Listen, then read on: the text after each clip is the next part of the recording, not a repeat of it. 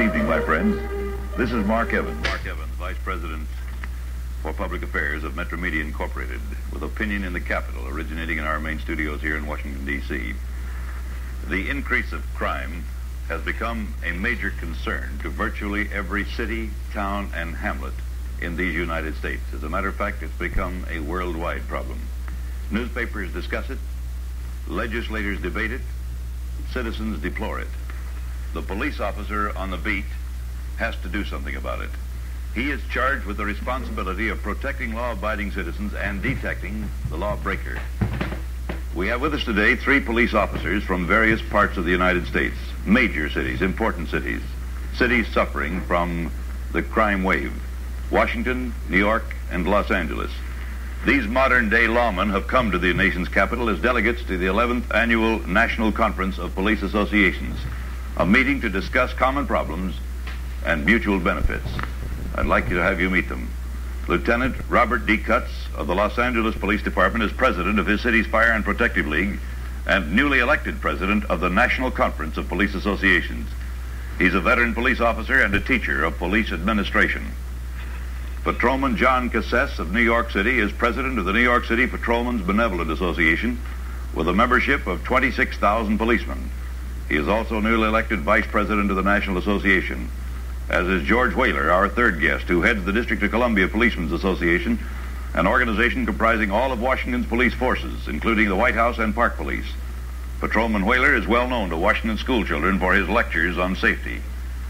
Now, in just a moment, we shall talk with these three police officers about their work, their responsibilities, their problems, and their goals. Opinion in the capital is very proud to have you gentlemen here, particularly in view of the fact of the national, the national problem that faces all cities. And we're wondering just what uh, you have in common, if the crime is common to all of you and the problems uh, uh, incident to crime. I suspect the biggest problem on your shoulders at the moment, and this certainly is true of you uh, here in Washington, uh, Patrolman Whaler, is the racial situation with 100,000 people predicted to come to Washington uh, in a demonstration, and certainly New York and Los Angeles have had their share of these. Where does the policeman fit into all of this? How does how does he uh, he, he he he can't win as I see it. Well, I think our policemen, excuse me, I, I think our policemen uh, in Los Angeles uh, feel that if these uh, demonstrations are orderly uh, and that they are conducted within the scope of our laws and ordinances and that the uh, rights and property of our citizens are are uh, protected. Uh, uh, we don't uh, have any reason to object from the standpoint of law enforcement. The individual officer in the street I'm talking about now, except he's he's incapacitated by having to work unusual overtime hours, and this seems to be his daily routine anyway. Yes, but inevitably you see the the cameraman focused on a policeman with a dog, and uh, some uh, uh, Negro is on the ground with a dog with his jaws wide open. Now, uh, the the policeman is second only to the dog in the, in the uh, unpleasantness of that picture. This type of tactic is, we think, is highly unfair to our officers, and it's been something we've experienced on occasions where the officer has been put in a derogatory position to the detriment of all law enforcement. Uh, I think that uh, in Los Angeles we've seen it. Uh, it might make good copy, but it certainly uh, is detrimental to the image of law enforcement as a You whole. face this problem in New York. I know. Surely, I think, uh, I think if a policeman breaks out even today, in any situation, he may be confronted with he's doing very good, doing very well. At one time, a policeman could take action as a policeman should under specified conditions.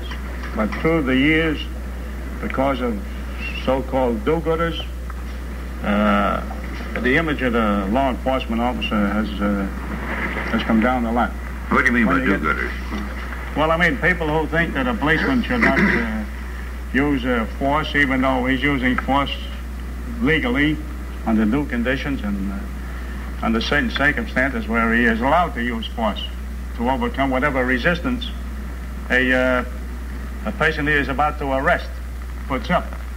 Notwithstanding this, the attitude is, of the public today in some circles is that the uh, this shouldn't be, no matter what. We've had occasion in New York City last year on numerous occasions where policemen in effectuating an arrest uh, had uh, to put up more with the people surrounding the area who were about to gang up on him for doing his job because he was arresting someone who had committed a crime.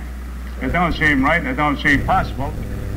Uh, it seems unbelievable, but it did happen in New York City. Well, you're going to face a problem here. Uh, I don't know whether it'll be a problem or not.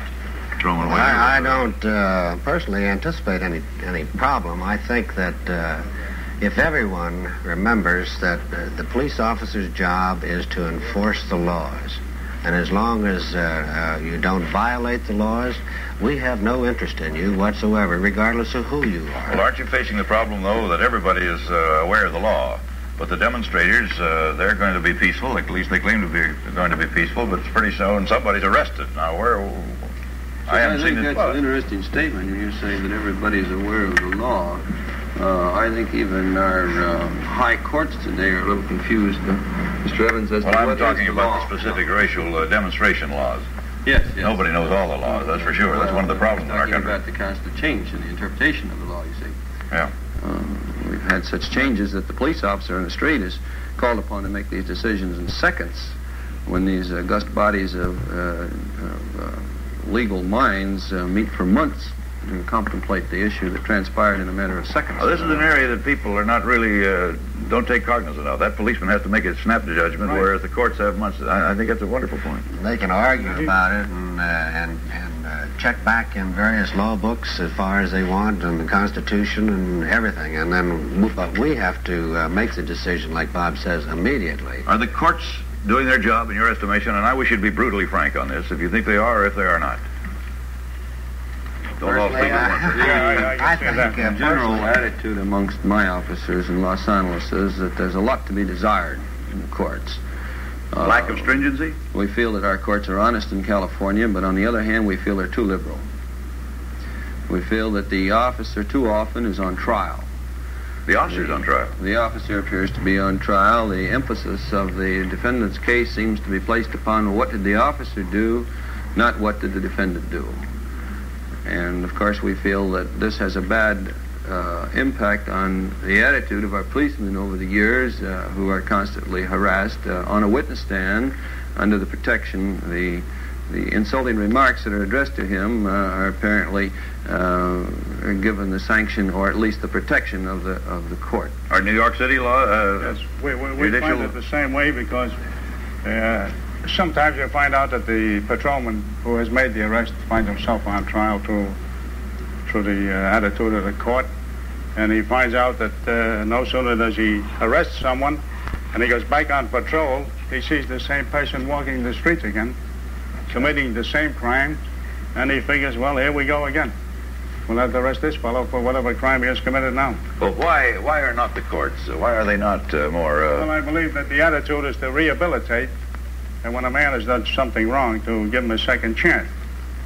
But in many, many cases, we find out that the fellow who has been paroled or is out uh, after having committed some crime commits a more serious crime later on. what would you suggest? What if you were a judge? What would you do? I'd, uh, depending on the crime committed, I'd hold it. Uh, I'd, I'd keep him in as long as uh, I thought it was fit.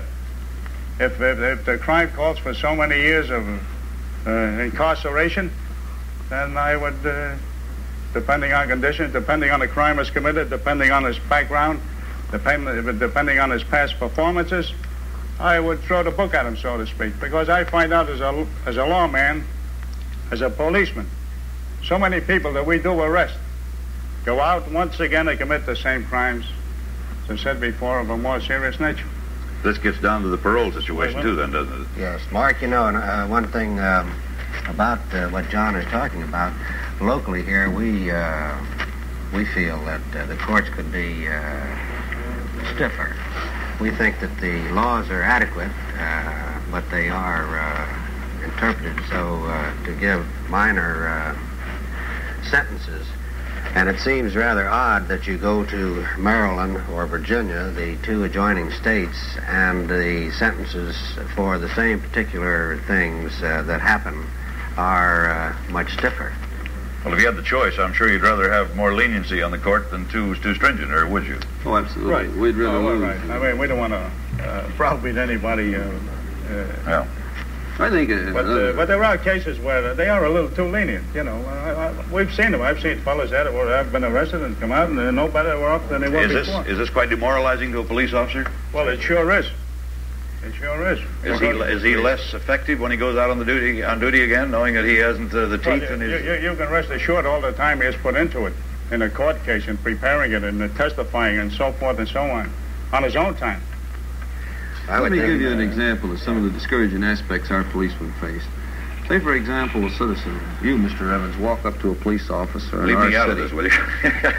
and you, I mean, as a, as a, as a citizen right, who has been uh, witnessed something, and you uh, point out to a police officer that a man accosted you and identify that man as having approached you to sell narcotics. Now, the officer is expected by you and the rest of the citizens under these circumstances to go up and immediately uh, search this man and ascertain whether he has narcotics on him and subsequently place him under arrest if he does. Such is not the case. The minute the officer searches this man, he violates this man's rights of illegal search under the Cahan case in California, and of course, evidence is illegal and narcotics is a crime of possession. So you have no case. Well, you're, you're, we're getting right down to the case, the problem here. Then that is the apathy of the public generally. Aren't they back of the courts, back of the, uh, the policemen, and back of everybody else? Is it I the public It's lethargic? think the legal profession here comes into the act. Uh, this takes in all your attorneys as well. Uh, here we like to do things a little differently than the country from which we inherited our judicial process. And here we tend to, in many instances, uh, make too many loopholes or legal gymnastics, as has been referred to by many authors, uh, for these people to manipulate the cases around. Opinion in the Capital is focusing its attention on national law enforcement by interviewing three working police officers from three different parts of the country. Lieutenant uh, Cutts of Los Angeles, Patrolman Cassese of New York, and George Whaler, who is a police officer here in Washington, D.C. We'll continue with this interesting discussion about the problems of law enforcement, particularly in reference to national problems, in just a moment. As I mentioned a few moments ago, our officers are from Los Angeles, New York, and Washington, D.C. Officers Cutts, Cassese, and Whaler. I would like uh, to find a common definition, or if there is one, on police brutality. This is this is a uh, well-used term. I'm not sure I know what it means. What is police brutality? Uh, back in the old days, I guess it used to be laying it on the back, but uh, Could mean anything, Mark. Uh, a bill was introduced last year in Congress, which uh, we think, fortunately, uh, which we opposed, by the way, didn't pass, which made almost anything police brutality, even uh, to the extent of the inflection of the voice. Or um, you, are you serious? I mean, you, I'm serious, and there's another bill introduced almost. Uh, there's nothing physical anymore about police brutality. I well, mean, uh, police police brutality, uh, for the most part, is uh, physical uh, action, but uh, it could mean almost anything. The way the proposed. Uh, is this a problem in all your areas? Yes, that's a New York? problem in our area too. You've got to realize that the uh, the policeman's there to enforce the law, to preserve the peace, to aid the sick, to arrest perpetrators, and he has to carry out his duties the way he sees fit, all things being equal. But you find out somewhere along the line that there are those who will cry police brutality. He can be legally being uh, using force, but notwithstanding this, there are groups, even in our city, who will make it a point to make sure that this is brought up under the uh, most advantageous uh, situations that uh, even comp- in favor of the police. Well, there are times when a man can lose his temper and, and, and provide some brutality. Won't you admit that, or is that? Well, I mean, uh, you you got to realize we got 26,000 policemen now. If there is such a man and he does lose his temper and does what is not correct and not proper and not right and does use police brutality, then we are in favor of taking appropriate action against this man. What does the New York uh, police code say in connection with police brutality? How much uh, force are you allowed to use on a man? Well, uh, the law says that you are allowed to use just enough force in overcoming whatever resistance he may put up in your effectuating an arrest. Now, how would you Now, put now, well, verbal that's brutality Now, you tell me in a situation like this where you have a fellow coming at you with a knife or something, now you tell me just how much uh, force you must use to overcome this resistance, whatever it may be. Yeah. Now, inadvertently, sometimes a fellow kills a man. A policeman does. Mhm. And then they holler police brutality, no reason for it. Well, this fellow was about to kill him with a knife. You see, now, how, how, how, where, where's this thin line of uh, figuring just what is legal and what isn't at the time? Are police departments subjected to much pressure, uh, political pressure? Uh, this is, I, I'd like to make this a blanket question. Uh, it probably differs in various cities. Washington doesn't have the political pressures, and yet it has all the political uh, pressures. Not, uh, I don't imagine we have the same political pressures like they have uh, in, in their various states. I'm talking about promotions. I'm talking about uh, being backed up by the courts, the general police uh, pressures from. I'd like to say in Los Angeles, Civil that, liberties uh, groups, we feel free of political pressure, but we do have pressure from what you're talking about. We have self-serving groups, uh, groups that uh, are furthering causes uh, which they uh, feel necessary, apparently, to their uh, way of life. And uh, certainly we're subjected to pressures all the time from these groups. People who uh, have a tendency to cast us in the in the image of the authoritarian despot or something of this nature, you know. The brutal type of individual that every police officer has an ulterior motive that he's going to get some sort of a gratuity if he arrests so many bodies or writes so many traffic citations. Well, this is utterly ridiculous. This is not true This is not true. in any city. It would be uh, quite a, a sought-after job, would well, I, this is a general consensus. Now, I didn't believe it myself, but I wanted re-emphasis on it. Right.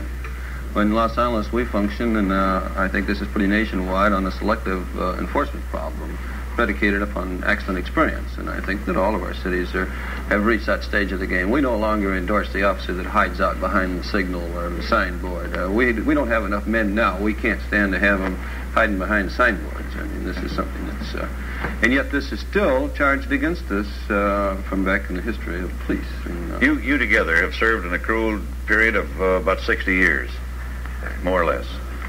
Uh, are police officers today better equipped, in your estimation? Are they better prepared than they were when you started, what, 22 years ago? Or was it you 22 years? 26. Well, they may have been Oh, yeah. They may be better prepared today, but I think that they did a job much better years ago under said conditions. Now I don't want to be misunderstood.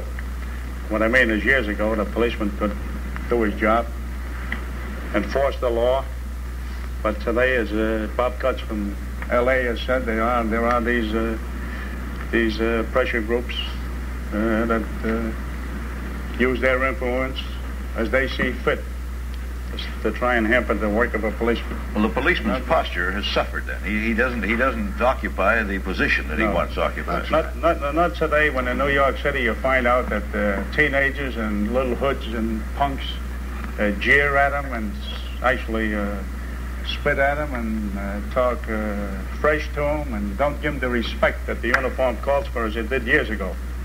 Like Uh, years ago, he, he was the law, and when he came down that street and you were misbehaving, you knew it and you respected him. But why But is this today- deteriorating? What's what's happened? What's caused this? Well, I think uh, through it the, years. or, uh, the policeman or the public? Or No, I, I think it's apathy on the part of the public and on the apathy of the part of the do-gooders, actually. Because even in school, like like teachers today now, and there's a good example with both, and it goes for policemen. As I talk for one, I'll talk for the other. If a teacher today puts a little hand on a child, and he probably deserves what when she does give him give him a little spank, spanking, uh, the mothers and the fathers and all the relations are up in arms. Now, I think a little pat on the back like that goes a long way to making this a better citizen and uh, a citizen that will respect its elders. And the same thing goes for the police department. Now, there are times that uh, and these punks and teenagers know it. All you have to do is make a complaint against the police department. You can get in, in our city, pick up a telephone and call a police station and just say that officer number so-and-so has done this, that, and the other thing. An anonymous call by anyone starts a chain reaction on, in our department where the man is brought down for questioning and so forth and so on. Now, this is demoralizing, and it goes a long way toward making our police department more ineffectual, Is it getting worse? ineffective. Is it getting Well, worse? fortunately, under the new commissioner that we have now, Michael Murphy, back home, we seem to get a little more support because we've had instances where our policemen went out there and did a job. And when complaints came in against them, he really studied the situations and uh, looked at the circumstances.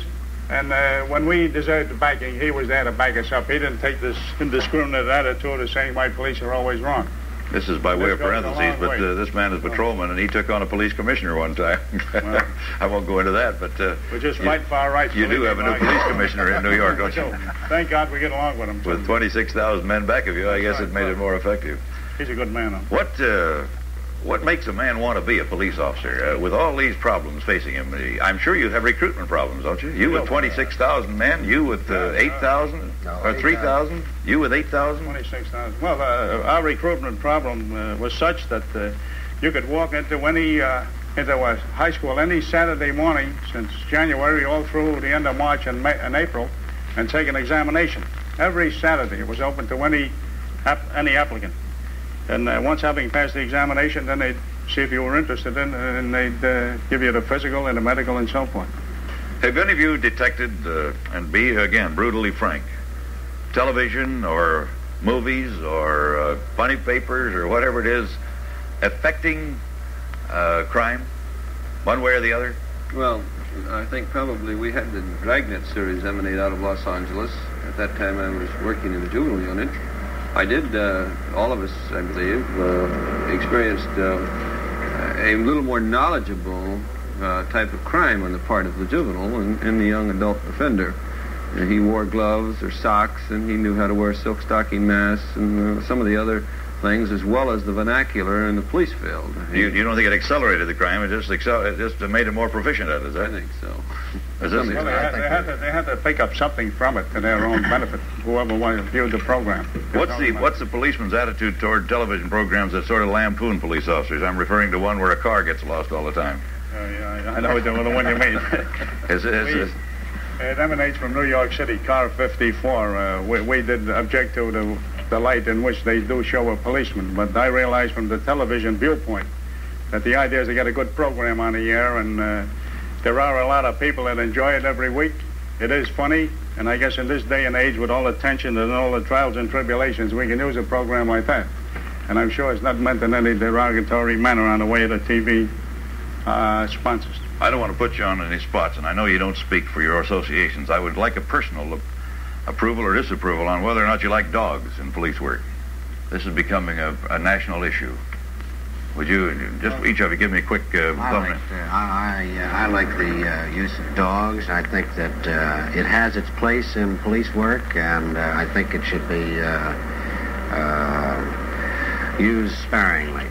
You buy that? This is something for the police commissioner in our city to decide, but I have read where it has been uh, very effective in some of the other cities throughout the country, and I guess it's worth a try, but it's up to the commissioner to decide. Is the same? They say the same thing, Lieutenant. I hope so. because we're out of time. Substantially, yes. We're most grateful to our guest, Lieutenant Robert Cutts of Los Angeles, uh, leader of some 8,000 men, Patrolman John Cassese of New York City, who is the head of 26,000 men, and Private George Whaler of the District of Columbia with some 3,500 men. We're most grateful for your informative and well, th- this discussion, and I'm sure has aided to all of us to better appreciate the role and problems of the police officer. My name is Mark Evans from Washington, D.C. on Opinion in the Capital.